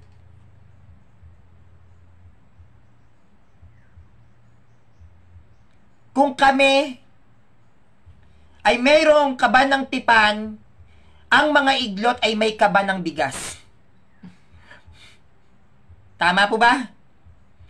Kung may kaban ng tipan ng Old Testament, sa panahon ng Ama, ang mga Katoliko ay may ark, may kaban ng tipan, si Maria, ang iglot may kaban, kaban ng bigas. Ang mga sulpot may kaban, kaban ng pera. May kaban sila, wag natin silang maliitin. May kaban. Kaban ng bigas. Diba? Meron naman silang kaban. Kayo namang mga kapanalig, wag naman kayong ganyan. Huwag judgmental. Kung ang, ang Old Testament ay may kaba ng tipan, ang laman ay tungkod ni Aaron, tapyas na bato, o ano pa laman nun, mana, yun yung laman ng kaba ng tipan sa Old Testament. Ang Katoliko may kaban din tayo ng tipan. Ang laman, si Kristo, dahil si Maria ang kaban ng tipan natin. Ang iglot may kaban din. Kaban ng, kaban ng bigas. Ang laman ng bodega ay kaban ng bigas. Ang kanilang kaban ng tipan ay nasa bodega dahil nandun ang kaban ng bigas. Ganon din sa protestante, may kaban din sila. Kaban ng pera. Ang laman ng kaba ng tipan ng ano, ang kaba ng tipan ng protestante, yung loob nun sobre. Ha? Kaya wag natin maliitin ang mga sulpot. Kaya sabihin nyo, oh, iglot, sino ang kaban ng tipan ninyo sa New Testament? Sasagot naman sila, meron kaming kaban, kaban ng bigas. 'Di ba? Tatandaan po natin, pag meron pong kaban ng tipan sa Old Testament, dapat may kaban din tayo ng tipan sa New Testament. Hindi po pwede yang mawala. Yan ay magpapatuloy at magpapatuloy. Kaya si Maria ang siyang ating kaban ng tipan. At sa iglot, ang kanilang kaban ay kaban ng bigas. No? Kaban po ng bigas ang kanilang kaban. Sana all may kaban ng bigas. So, yun lang po yung ating presentations about the assumption of, ay, assumption, ah, dito kay Maria, yung tawag neto, ano bang title nito? Kaban ng tip, kaban, kaban ng tipan. No? Mga Katoliko, kapanalig, meron tayong kaban ng tipan ha, si Maria, hindi po kaban ng bigas. Sa iglot yon, wag nating kuhain yung titulo nila. Who is the Ark of the Covenant ng mga iglot? Kaban ng tipan. Kaya malinaw po yan, no? Yan po ang ating full presentation pagdating po sa uh, Ark of the Covenant, pang-apat at panghuling dogma ni Maria, patungkol na si Maria ang siyang sisidlan ng ating Panginoon. No? 68 live viewers, shout out po and please subscribe on my YouTube channel, Sanrio TV. Hi po, Ate Tercia Lido, kay Ate Dinah G. Roca, kay Mami Veronica Mondia, kay Kuya Bitoon, Jersey Maker, hello po. Kay Kuya Atsyanggo, hello. Kay Kuya Neil Rocky ng AMS, ayan, hello po sa inyo. Sa lahat po ng nanood ng nan, nan, peh, nanood ng live natin ngayon, salamat po sa inyong support. Shout out din po sa mga sumusuporta po sa akin sa YouTube channel ko, sa mga nagko-comment, hello po sa inyo. Kay Mami Leonora Mirador, hello po. Kay Kuya June Lumagan, hi po. No, ang mahalaga, ang ating kaban ng tipan ay si Blessed Virgin Mary, no? Kaya kung ang inyong kaban ng tipan ay kaban ng bigas, nako, bodega po yan, hindi po yan kaban. No? Hindi po yan kaban. Kay Mami Leia Darling, hello po, no? Kay Kuya Alvin Pepito Taytay, hello po, ayun po, uh, magpapaalam na po ako. Once again, my name is Sanrio, ako po ang founder ng Ave Maristela Star of the Sea, na nagiiwan po sa inyo ng advice na bago tayo bumuga, bago tayo maglatag, kailangan marami muna tayong ina-absorb dahil yung bawat pagbuga ay nakasalalay sa pressure kung ano ang dami ng laman mo. So magpuno muna tayo ng kaalaman bago tayo maglatag ng aral. Kaya mga sulpot, kung hindi kayo sigurado sa mga aral ng kinaaniban ninyo, saliksikin nyo para hindi po kayo napapahiya sa live ni Sandio. Dahil hindi ko po papayagan na maglatag kayo rito ng mali-mali at kung anong-anong kaabnormalan yung sasabihin ninyo. Maging maingat kayo sa paglalatag ng aral ng inyong mga protestante dahil ang kasiraan ng isang debatista na protestante, damay po dyan ang kinaaaniban ninyo. No, hindi nyo po prinoprotektahan ang pagiging protestante ninyo. Sinisira, sinisira nyo palalo yung kinaaniban ninyo. So, kung hindi kayo aral doon sa sekta ninyo, shh, quiet. Kasi ako bilang isang katoliko, inaaral ko po ang lahat ng presentations ko. At kabisado ko ang galaw at diwa ng mga inilalatag ko dahil ako ay nagla-live lagi ng dapat handa. Kaya kung hindi po kayo handa sa paglalatag ng inyong presentations o sa paglalatag dito sa live ko, quiet. Bigyan nyo po ng konting kahihiyan yung mga sarili ninyo Huwag nyo pong makasanayan na lagi kayong nabubutata sa live ni Sanrio. Aralin ninyong maigi ang aral protestante at saka kayo maglatag dito kapag aral na kayo. Shoutout po kay Kuya Fanny Estomo Bruan at kay Mami Juby Bugtong. Yun lang po at maraming salamat at mag-closing prayer po tayo. Kasi kay, pag kay Mama Mary po talaga nag-ano, closing prayer. In the name of the Father, and the Son, and the Holy Spirit. Amen. Majestic Queen of Heaven and Mistress of the Angels, Thou didst receive from God the power and commission to crush the head of Satan. Wherefore we humbly beseech thee, send forth the legions of heaven, that under thy command they may seek out all evil spirits, engage them everywhere in battle, curb their insolence, and hurt them back into the pit of hell. Who is like unto God? O good and tender mother, thou shalt ever be our hope and the object of our love. O mother of God, send forth the holy angels to defend me, to defend us, and drive far from us the cruel foe. Holy angels and archangels, defend us and keep us. Hail Mary, full of grace, the Lord is with thee. Blessed are you amongst women, and blessed is the fruit of thy womb, Jesus. Holy Mary, Mother of God, pray for us sinners, now and at the hour of our death. Amen. Glory be to the Father, and to the Son, and to the Holy Spirit, as it was in the beginning, is now, and ever shall be, world without end. Amen. Maraming maraming pong salamat sa lahat ng sumusuporta po sa akin. Shoutout Kuya Crispin Hisona Jr. God bless you all guys. Salamat po.